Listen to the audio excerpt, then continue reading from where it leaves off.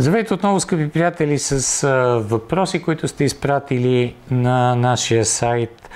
Интересна тема повдига Мариан Райков, който а, пита защо Мерцедес толкова спешно върнаха Хамилтън в Абу Даби. За мен лично участието на Ръсъл в Мерцедес дава база за сравнение с Хамилтън, с Ботас и така нататък, спечелването на седемте титли и надолу въпрос свързан с това, че една много голяма група от пилоти вероятно биха спечели световния шампионат с автомобил на Мерцедес, особено ако са в позицията на първи пилот в този отбор. Ръсъл го доказа.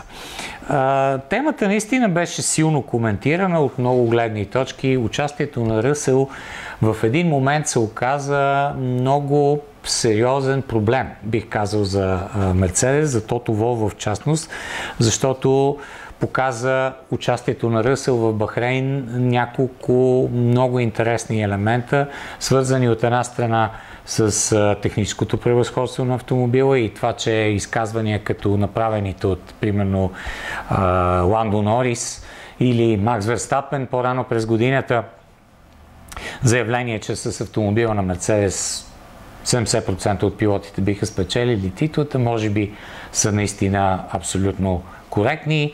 Също така изказвания от а, типа, че по един или по друг начин бота се доста далеч от нивото, което би трябвало да има като съотборник на Луис Хамилтън и така нататък и така нататък. Мисля, че всички са наясно с а, тези въпроси и от тази гледна точка, действително, бързането Хамилтън отново да се върне в отбора на Мерцедес, за да се успокои обстановката, има своето логично обяснение, независимо от факта, че Луис в крайна сметка не беше напълно готов, както самия той каза, за това участие в финалното състезание. Сега, дали това е, как да кажа, правилна политика от страна на Мерцедес да се опитват максимално бързо да го върнат в, в отбора или не, според мен няма никакво съмнение, че от тяхна гледна точка, от гледна точка на всичко това, което постигнаха, е абсолютно разумно, коректно и правилно решение, защото да, Хамилтън не е на а, нивото, на което трябва да бъде или на което по принцип е, но е, второ и трето място в състезанието напълно резонно така дадоха тяхната позиция конкретно в този състезателен уикенд. От друга страна, беше видимо, че те нямат скоростта на, на Red Bull, което също до някъде беше добра новина за Мерцедес, тъй като се показа, че техният автомобил не е така доминиращ, както а, много експерти твърдяха в а, хода на а, шампионата тази година, че всъщност при определено правилно настройване Red Bull би могъл да бъде много по-силен автомобил, че всъщност немалка част от грешките тази година в работата на RB16 бяха свързани именно с неговата експлоатация, не толкова с а, работата на м- самия отбор във всяко едно от състезанията, изборна тактика и така натам. Но какво да добавим още по, по тази тема? Аз наистина а, съм затруднен да кажа м, какво щеше да направи Джордж Ръсел, ако примерно беше направил втори състезателен уикенд е много интересен въпрос, защото ако Мерцедес се отстъпваше този състезателен уикенд на, а, на Red Bull, дали неговия резултат щеше да бъде много различен от това, което направиха Ботас и Хамилтън. Да, той е много по-силно мотивиран, познаваше колата, щеше да се чувства по-комфортно в автомобила, но обикновено такива въпроси, какво би се случило, ако всъщност нямат никаква стойност.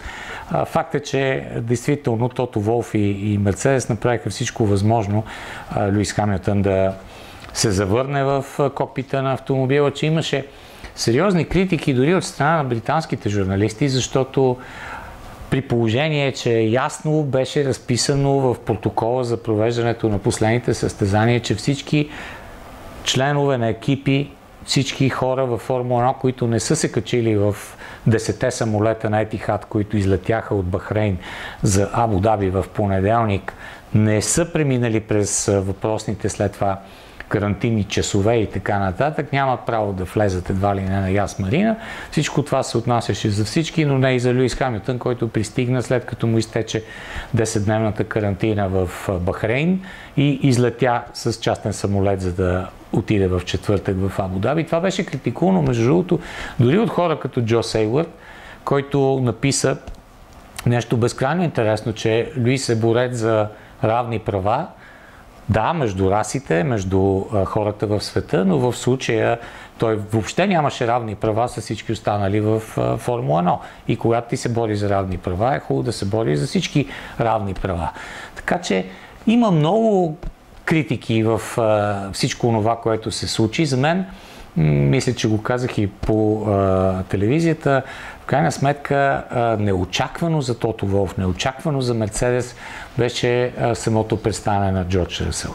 Аз си мисля, че Тото Волф, както го каза той пред камерата на Sky, очакваше Джордж Ръсъл да е някъде пети, шести, четвърти, да, окей, да е близо до, до Ботас, може би в хода на квалификацията, но едва ли някой си е представил до такава степен в кола, която му беше крайно неудобна, с тесни обувки, с тесен кокпит, с абсолютно пълен дискомфорт в управлението на, на автомобила, да бъде толкова бърз и да проведе състезанието по начина, по който това се случи. Знаете, че имаше и много теории за това, как така са се случили нещата в бокса.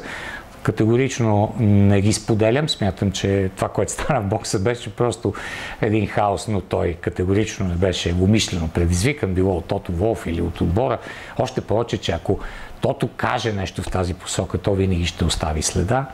Та, е, интересна е тази тема и е, пак се връщам към, към нея. Имаше много гледни точки но е, те ще продължат да бъдат защитавани. Хората няма как да им промениш мнението дали колата или пилота в крайна сметка определят успеха. Хамилтън допринесе изключително много за спечелването на титлите през 2017-2018. Това според мен не може да отрече абсолютно никой. Тогава колата не беше доминираща в не едно и две състезания, но а, титлите пак бяха за тях. Сега тази година нещата са много, много особени. А, да видим какво ще се случи през 2021. Благодаря за въпроса. Ще бъдем отново заедно скоро.